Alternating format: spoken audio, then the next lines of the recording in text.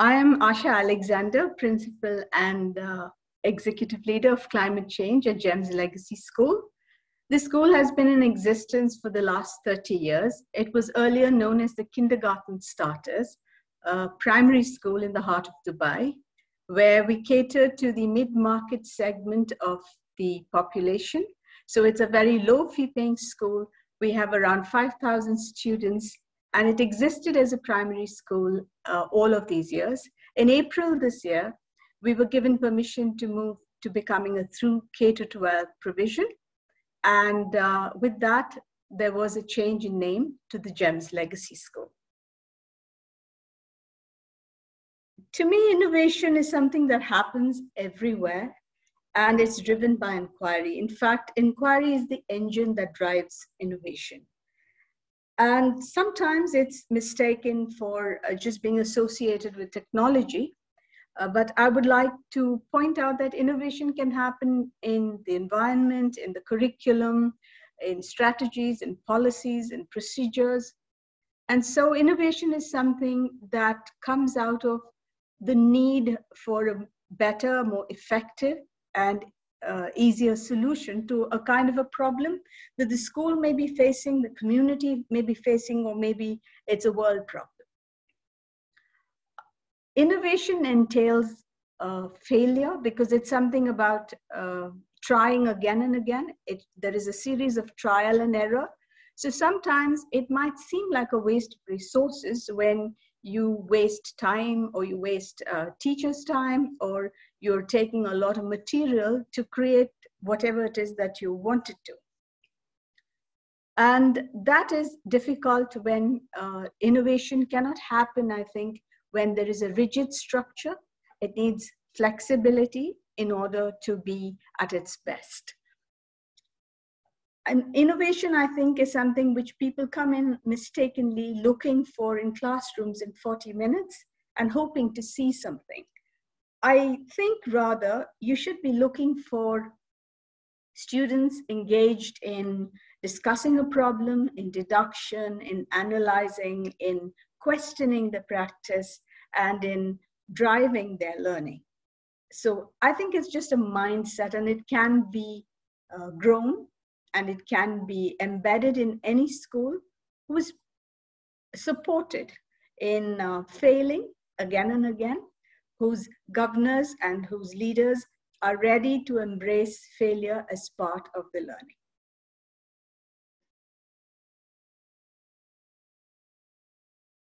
I would, I would certainly touch upon Learnometer because it actually looks at innovating the environment uh, when I heard about Professor Stephen Heppell and the work he was doing around how environments affect student learning, I was intrigued. And then when I got in touch with him, he said, I have a prototype of what's called a learnometer, and would you like to have one in your school? So he sent it across to me through a very dear friend, Phil Redhead, who was working with GEMS at that time. And I placed it in a grade two classroom and I said, now let's see what this does because Professor Heppell said it logs data and I can compare it with schools and organizations around the world. After a few weeks, I began to look at the readings. We could see it daily. And I found that especially the carbon dioxide levels were appallingly high in the classrooms, which were very small in size for the number of students in the classroom.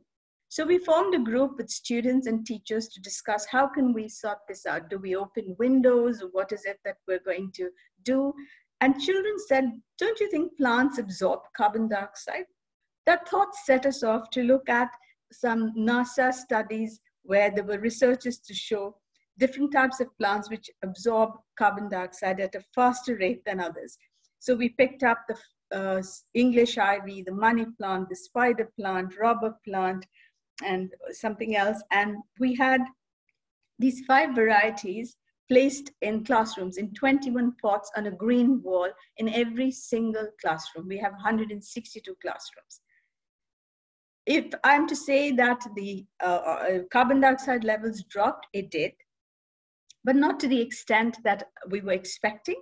So we had to further refine this innovation. It's not about relying on one thing. So when I'm talking about innovation being, you can't see results, the results you want immediately, maybe. You have to be patient. So we looked at our timetable and we said, how do we make sure that our students exit the classroom after every two periods of 40 minutes? So we made it possible now for students to go out for music, for PE, for lab, library, and thus when the classrooms became empty, the carbon dioxide levels dropped. And we did a study and we saw that the concentration and focus of students increased and the performance, the academic performance of students, especially special needs students, was really remarkably different. The other innovation I'd like to talk about is um, modifying the way we did professional development.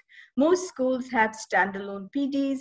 We too had them. We had the principal or tell-all or somebody coming in and talking to teachers. We did need-based PD. We had common planning time where teachers spoke to each other and shared their work. But what we found was the depth of knowledge in teachers was not as much as we would like it to be. Uh, good teachers need to have a sound understanding of their subject matter. So we wanted them to inquire. So we invited them to be part of action researchers. When we started the first year, we had just five teachers who did literature reviews, who read, who researched, and who studied the impact of uh, the, the uh, question under study. And in the subsequent years, we had more than 100 teachers every year. We have 125 in the last year. Every year we hold an action research carousel to share our findings with GEMS and the wider uh, community in Dubai, because that is how you develop capacity in teachers. We found that using action research as a tool for capacity building, for building knowledge and subject content, for making teachers question everything that was given to them. So it was, if we said use this resource, they would ask why. They would look at how it connects with their curriculum. And this enabled us to make sure that our practitioners always asked questions because when teachers begin asking questions, they embrace the same in the classroom when students ask questions. So these are two things that uh, we uh, found have made a significant impact in the school. Supportive for, of innovation means that you give uh, teachers and the principal and the school the freedom and the flexibility to fail. So if you don't do that, you're not going to find innovation taking place. And like I said earlier, you have to be really patient waiting for uh, the impact of the innovation. Like when we started the action research, if you, if you measured what is the impact that was just five teachers to today when 125 which is more than half our staff are uh, you know in, uh, entertaining this kind of approach i find that in the governors must be willing to connect schools with one another because to inspire and to innovate you need to be inspired. Innovation doesn't happen in a vacuum. It, it's some idea that's floating around somewhere which i take and i tweak and I adapt to my context. So if teachers have to understand what is innovation, they need to be connected with schools or with industries where innovation is happening, and that will probably make them think about how to innovate. I would like governors to be talking to the leadership teams, to students and supporting student agency. And finally, I would like to say that innovation is not something that happens when you give somebody something and say, go and innovate. It's something that happens from inside out. It's something when people come across a problem, they want to get to the root of the problem, they identify the reason why that problem has occurred. Then they look around, they see what do I have around me which I can use maybe to manipulate or maneuver and create this solution. And when I don't have it, maybe I need support from governors to give me money or to give me resources through which I can make that innovation happen.